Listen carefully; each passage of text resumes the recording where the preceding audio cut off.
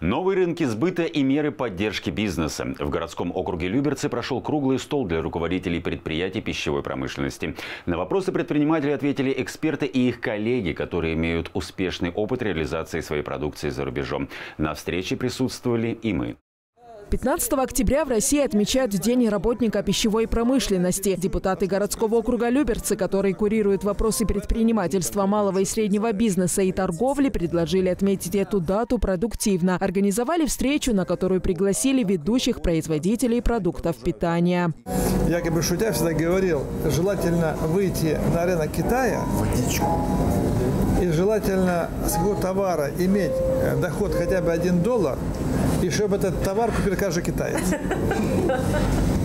Это можно как бы это успех. радоваться. Около месяца назад одно из люберецких предприятий сумело найти выход на китайский рынок. Представитель торговой марки «Дядя Ваня» поделился на бизнес-завтраке секретами успеха и историей создания компании. На самом деле наша история – это, наверное, классическая история для тех компаний, которые начинали в 90-х. Ну, я так понимаю, что многие, да, кто, кто начинал в 90-х и присутствуют здесь. А начали мы с э, трейдерства, трейдерство, купи-продай по-простому. Вот. А, и а, если говорить об э, огурцах, то начали мы их производить в Индии на заводах и завозить в Россию под нашей торговой маркой. Немаловажную роль в процветании бизнеса играют меры поддержки. В Московской области существует специальный фонд, который помогает в продвижении товаров на экспорт. Основные услуги, которые предлагает фонд, э, их всего 15, но топ-3 – это выставки, это бизнес-миссии и поиск иностранного покупателя. Если вы выбираете выставки в международных государствах,